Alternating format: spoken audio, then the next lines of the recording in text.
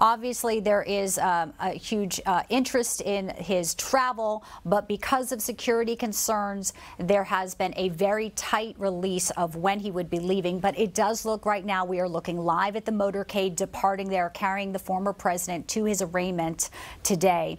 Uh, Secret Service has been there, of course, as they always are, accompanying the president. And in preparation, Miami officials have also been securing the area in and around the courthouse, um, keeping very close close eye on what is happening there.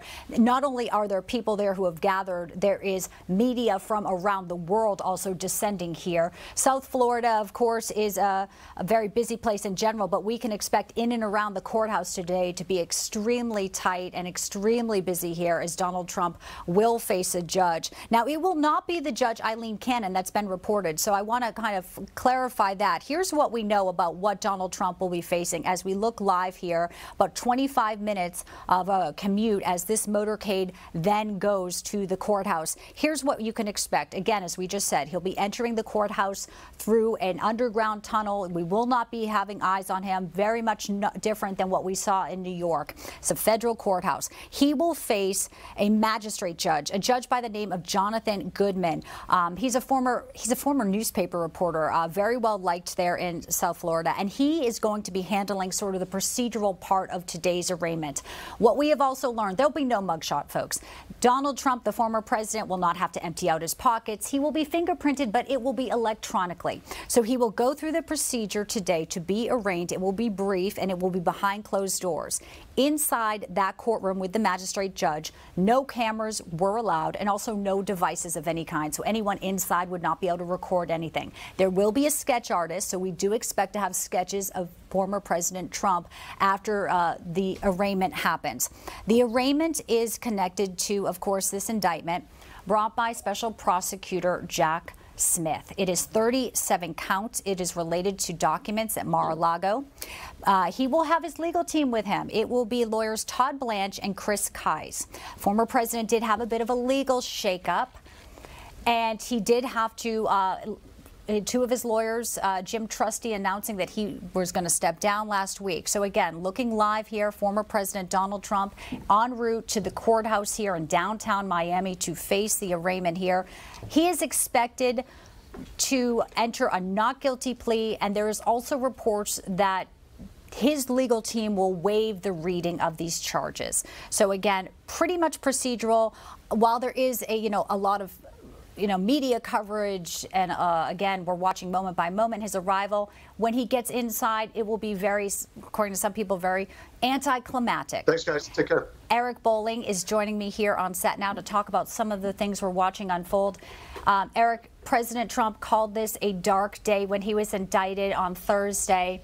And you know, uh, uh, people do feel like this is a dark day, but in some regards, there is there is light because there is more transparency, more truth coming about about the way the government is is conducting their handling of him with classified documents and the, the classified documents that Biden had in an unlocked garage with his Corvette, as he says. Two-tier justice, um, similar if not uh, um, events. Biden having documents in a very yeah, not very secure place, open garage, and Hunter Biden, well known to be in and out of that garage with some pretty nefarious characters, uh, friends of his, prostitutes, drug dealers, and they worry about some documents in a box at Mar-a-Lago on a, on a, on a, on a in a bathroom or on a, on a stage. I, you know what's fascinating to me is, is the um, what's going to happen down here in this courthouse in Miami. Remember, Mayor Suarez is rumored he may announce a run for presidency in the next couple of days. So how is he handling this? Is this is is you know will there be altercation? Antifa said they're going to show up at the courthouse. Now, will Antifa show up to cause trouble? Will Antifa show up in MAGA hats? I mean, they've been known to you know, false flag it and, and, and start trouble in, in, the name of the, the, the, people who are who they're actually protesting against. 95 completely shut down, folks, as we see the president's motorcade here. You are looking live at history unfolding here in Miami as the president has left Doral, his property, to head to the federal courthouse, the Wilkie D. Ferguson Jr. Courthouse. And um, Eric, that's a great point. You know, we hope there's been no disturbances so far, so we hope everyone continues to be civil. The mayor Suarez, he reportedly is already at the at the courthouse House. He was seen in front of the uh, cameras there, and I know that he's also going to be addressing some folks later this week to talk about a run for, for presidency. He was on your show actually a few weeks ago. I caught that ago. amazing interview. Yeah. Yeah.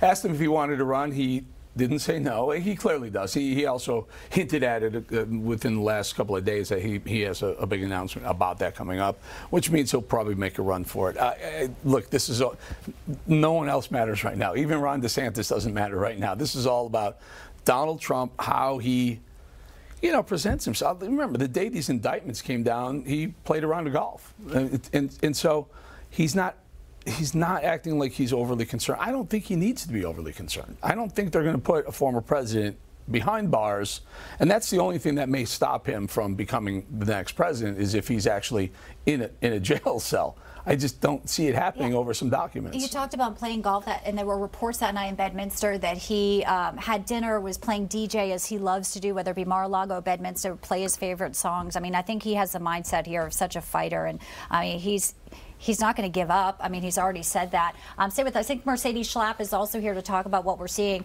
And pretty incredible as we watch this. Um, it- we, we saw this in New York, but it was state charges. This is a federal case. This is the first time ever